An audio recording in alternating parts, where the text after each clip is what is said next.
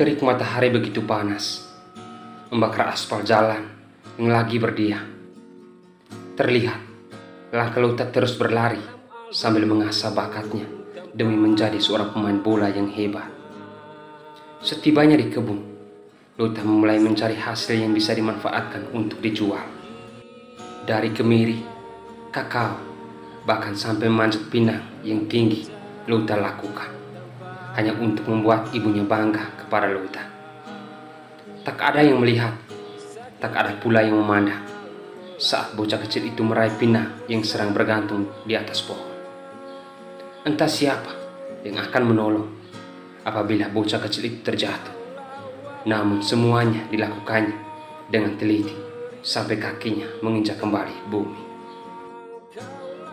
Ketika semua hasil telah dikumpulkannya untuk menghibur dirinya, Luta kemudian memanjat lagi pohon sambil bernyanyi dan berteriak untuk melepaskan semua beban, amarah, serta dilema yang membuat dirinya tersiksa. Saat sore menjelang, seperti biasa, Lota kemudian pulang dengan barang yang sudah siap untuk dipikul.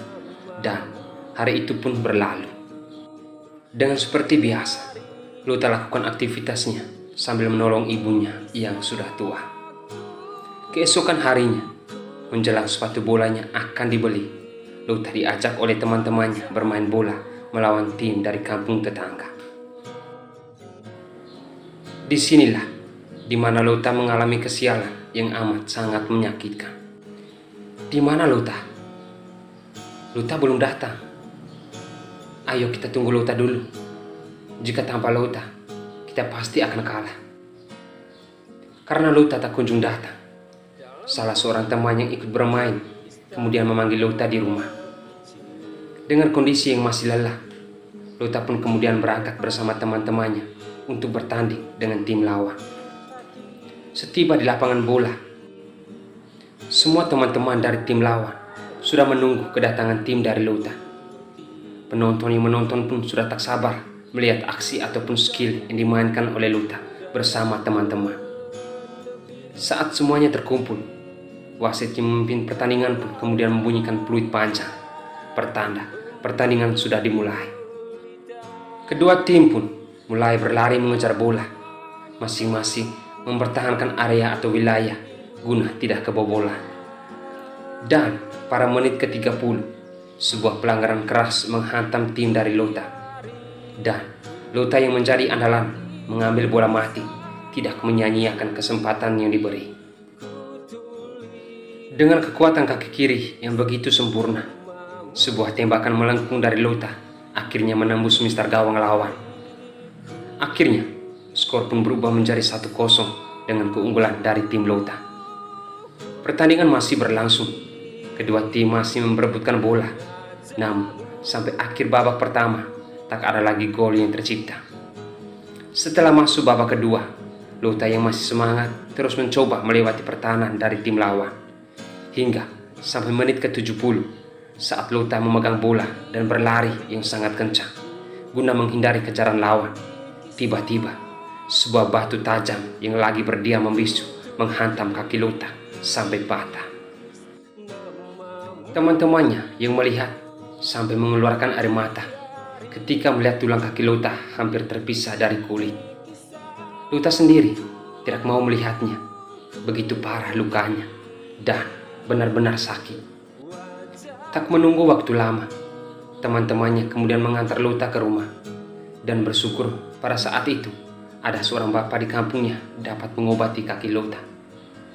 Ibunya yang melihat kemudian marah karena dari kecil sampai besar Lota tidak pernah berhati-hati dalam bermain. Selalu pula membawa luka baik di kaki, tangan, ataupun di badan. Pihak sekolah yang mendengar berita tentang Lota kemudian mengistirahatkan Lota selama dua bulan untuk tidak mengikuti pelajaran sekolah bersama teman-temannya sampai kaki Lota benar-benar pulih seperti semula. Selama di rumah, Lota terus berusaha agar kakinya cepat pulih dan bisa berjalan kembali. Lota pun kemudian berlatih menggerakkan kakinya, berlatih menginjak kerikil dan lain sebagainya. Ibunya yang melihat usaha Lota sekali-kali merasa kasihan kepada anaknya itu. Akhirnya, Demi membuat Lota semangat lagi seperti hari-hari kemarin, ibunya kemudian membelikan sepatu bola untuk Lota. Ibu, apa ibu sudah ada uang sehingga ibu membeli sepatu untuk Lota? Iya nak, ibu jual sarung di pasar dan ibu langsung beli sepatu bola untukmu. Agar kalau kamu main lagi, kamu sudah bisa pakai sepatu. Makasih bu. Teringat dan terus dikenang kasih sayang ibu yang begitu sempurna. Saat ibu menunggu para pembeli yang ingin membeli, wajah lesu ibu terpaku menanti ada yang datang membeli. Dengan pakaian lusuh, ibu berjemur di bawah terik matahari guna menunggu barang yang belum laku dijual. Ibu, ibu. Waktu terus berlalu. Semakin hari, kaki Luta semakin membaik. Ketika kakinya sudah bisa berjalan, Luta kemudian memaksakan diri untuk kembali ke sekolah guna belajar bersama teman-temannya. Setelah Luta kembali ke sekolah, entah apa yang terjadi, atau mungkin karena Luta dikurung selama dua bulan tanpa komunikasi. Perempuan yang mencari idaman Luta kini berpaling dan tidak mau bertemu dengan Luta lagi. Luta terus mencoba untuk kembali berada di samping perempuan itu. Tapi perempuan itu tidak mau memberikan kesempatan kepada Luta sekalipun. Di situlah kekecewaan datang dalam hati Luta yang pertama kali ini. Tanpa sebab dan tanpa ada alasan yang pasti, cinta tulus dikhianati. Inilah murka yang Luta terima ketika sang pujaan hati berpaling demi mencari sensasi tanpa alasan yang pasti, hanya karena kabar yang tak pernah diberi. Dari saat itulah, Lauta diajarkan untuk mencari orang yang benar-benar menerima Lauta apa adanya, bukan datang hanya demi sebuah alasan sementara.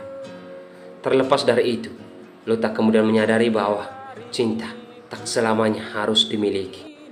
Mendengar kabar tentang Lauta yang telah ditinggal oleh perempuan idamannya itu, Gear yang merupakan teman baik Lauta terus berusaha menyemangatkan Lota untuk terus belajar dan belajar.